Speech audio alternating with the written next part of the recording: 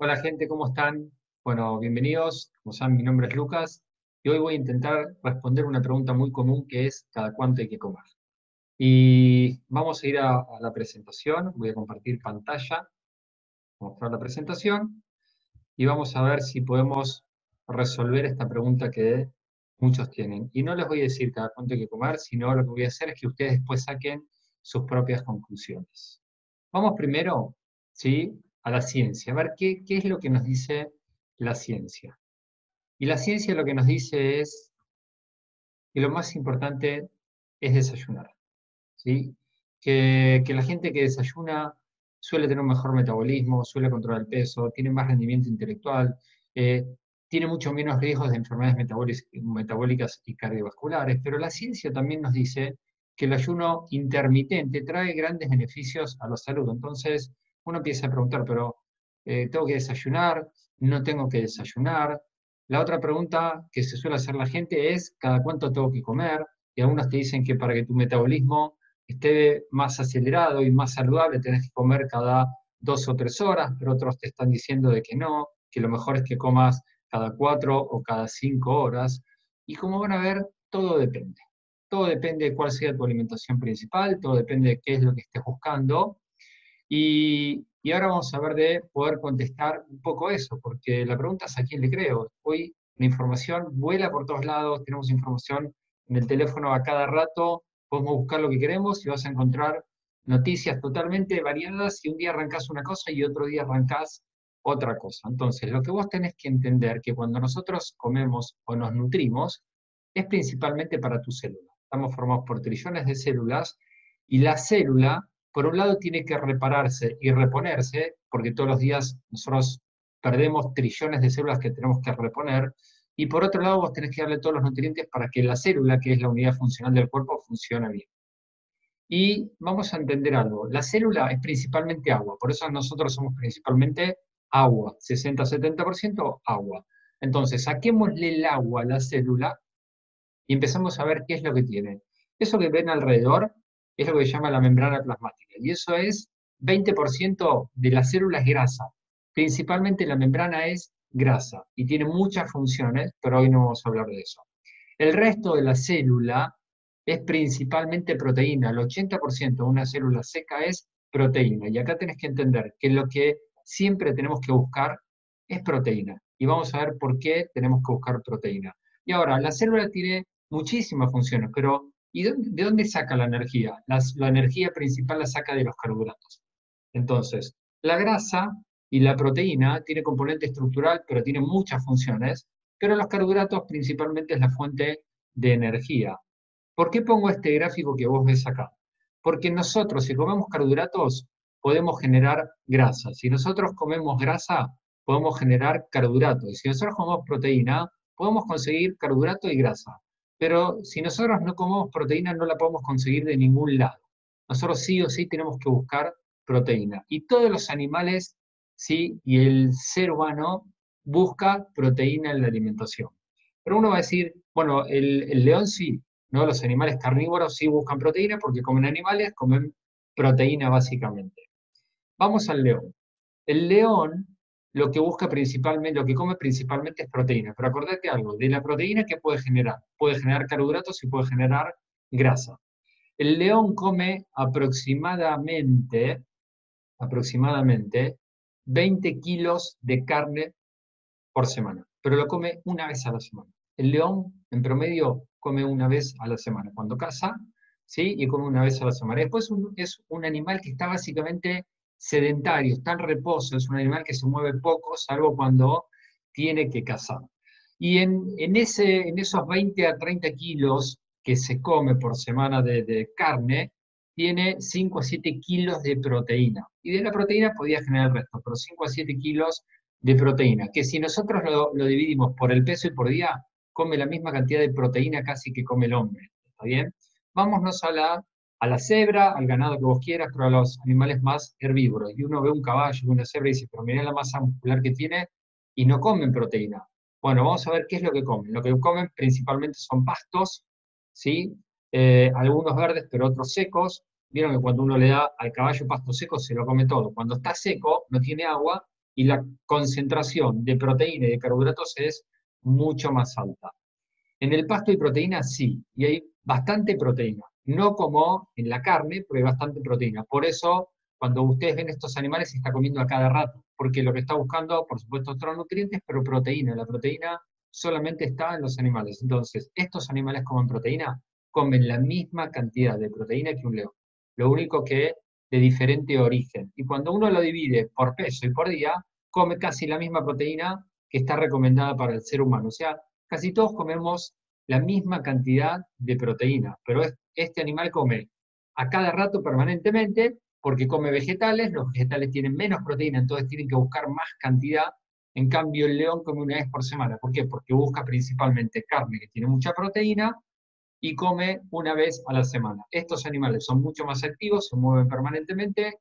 Los animales carnívoros generalmente son eh, más sedentarios, se mueven menos. Pero nosotros no somos ni leones ni cebra, tampoco somos monos, pero genéticamente nos parecemos mucho más ¿sí? al mono. Somos 99% similares al chimpancé en cuanto a la genética. ¿Cuál es la alimentación de ellos? ¿Por qué hablo de esto? Porque vámonos a la naturaleza. El hombre cambió todo, vámonos a la naturaleza. Es, tiene una alimentación principalmente basada en plantas, en vegetales, variada, pero cazan animales. Primero que comen insectos, proteína, y por otro lado cazan animales y comen, en su dieta tienen eh, carnes también. Ahora vamos al hombre. Esta, esto es una población de Nueva Guinea que siguen viviendo como el hombre cazador y recolector.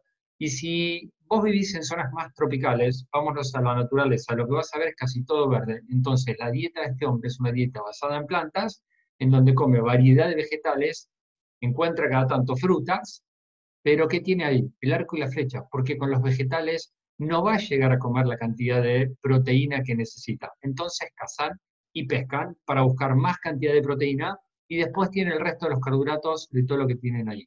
Y son personas generalmente que están activas, pero que comen varias veces al día, vegetales principalmente, pero varias veces al día. Son cazadores recolectores y tienen abundante cantidad de vegetales en su alimentación, pero cazan también, pero no están recolectando proteína de origen animal a cada rato. Pero vámonos a esta gente, porque la gente dice el hombre está, el hombre es, un animal que está hecho para comer vegetales. Bueno, vamos a contarle a la gente que vive en estas poblaciones, donde casi todo es hielo, donde no hay casi ningún tipo de vegetal, y digámosles, no, no, pero ustedes no tienen que comer carne, ustedes tienen que comer vegetales.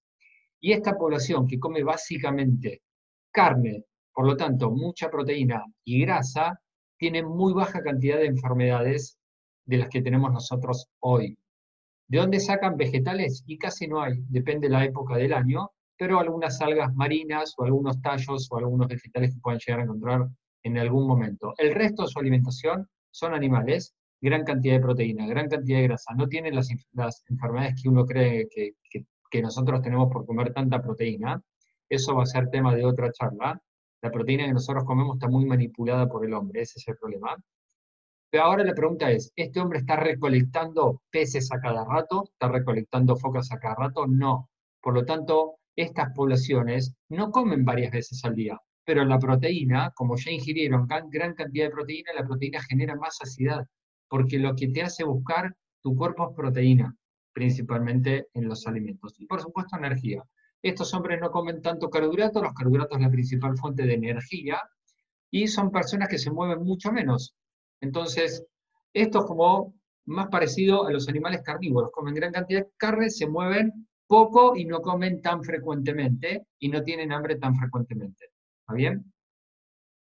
¿Qué es lo que pasó con nuestra alimentación? Nuestra alimentación, lo único que agregó, bueno, lo único que agregó de todo, pero fue la manipulación de los granos, el sembrado de granos, trigo, avena, cebada, ¿sí? todo eso, que tiene gran concentración de carbohidrato, gran concentración de carbohidrato, tiene proteína, pero lo que nos excedimos fue en carbohidrato, esa alimentación pasó a ser ultraprocesada, con más agregados de grasas, azúcar y otras cosas más, y nos llevó a que nuestra comida hoy tenga excesos principalmente de carbohidratos, sustancias agregadas por el hombre no saludables para nosotros, grasas, azúcares, sal, conservantes, preservantes y otras cosas más pero hoy tenemos carencia de vitaminas, de minerales, de proteína, de nutrientes que sí necesitamos. Y ahora vamos a tu dieta. Si tu dieta es una dieta basada principalmente en vegetales, tiene mucho menos proteína, pero tiene proteína. Pero vas a tener que comer a cada rato. El que come ensalada, al rato tiene hambre. ¿Por qué? Porque le falta la proteína y el cuerpo te va a seguir pidiendo. Y si tu alimentación es basada en vegetales, vas a tener que estar comiendo a cada rato. Busca este tipo de vegetales porque si buscas los vegetales de, de las harinas, de los granos, te vas a pasar en todo lo que hace mal. Si tu dieta es una alimentación basada principalmente en carnes, que por el tipo de carne que tenemos hoy no recomiendo que sea principalmente basada en carnes, es probable que tengas más saciedad y que no tengas ganas de comer cada dos o tres horas. Se, va entendiendo, ¿no? Ahora, vamos a tu actividad. Si vos sos una persona, como habíamos mostrado de el león, y sos una persona principalmente sedentaria, oficinista, no importa si vas al gimnasio, una vez al día, porque si el resto del día estás principalmente eh, sentado, trabajando, ¿sí? con la computadora o en una oficina, te recomiendo que tu dieta sea baja en carbohidratos. Bien, buena en proteína como a todos, pero baja en carbohidratos, porque si no vas a aumentar de peso y no vas a estar saludable. Si vos sos una persona muy activa, no solo que va al gimnasio, pero sino que sos una persona que trabaja en una actividad que sos activa, y es probable que el cuerpo te pida más energía y te va a pedir más carbohidrato, entonces vas a tener que comer más seguido, ¿está bien? Eh, la proteína casi no varía, la proteína es por kilo de peso, si sos una persona que trabaja, si hace mucha actividad física y necesita más masa muscular, vas a tener que subir un poco más la proteína, pero generalmente la variación en nuestra alimentación es por carbohidratos, sacando el tema de las grasas y las cosas que se le agregan a los productos ultraprocesados.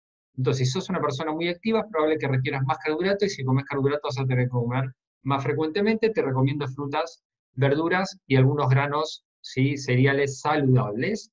Si sos una persona sedentaria, te, te recomiendo que bajes la cantidad de carbohidratos y que la proteína siempre la mantengan casi igual. ¿Cuáles son mis recomendaciones para terminar? Vos vas a sacar las conclusiones con lo que te dije de que si proteína sí, si proteína o no, hoy no hablamos ni de la cantidad de proteína, ni de cuánta proteína, ni la calidad de carbohidratos, eso es para otro momento, ¿está bien? Pero mis recomendaciones son que tengas una dieta basada en plantas, o sea, muchos vegetales y variados, como recomienda la Organización Mundial de la Salud de 5 a 7, dos frutas por día, el resto vegetales y variados. Con eso no vas a llegar a la cantidad de proteínas. Si sos vegetariano, vas a tener que agregar granos y legumbres, y con eso puedes hacer otro tipo de alimento. Proteína de origen animal saludable, tema de otro momento, ¿cuál será la saludable? Y, proteína de origen vegetal también. Regular la actividad, según la actividad de los granos cuando, y cereales. Cuando hablo de granos y cereales, acordate, hablo de el trigo, la avena, el arroz, la, la quinoa, eso lo tenés que regular porque si sos una persona que no hace mucha actividad, no tenés que comer mucho de eso. Si sos una persona muy activa, sí, ¿y cuánto tenés que comer? Y te vas a dar cuenta por tu peso, principalmente cómo va tu peso, no por calorías.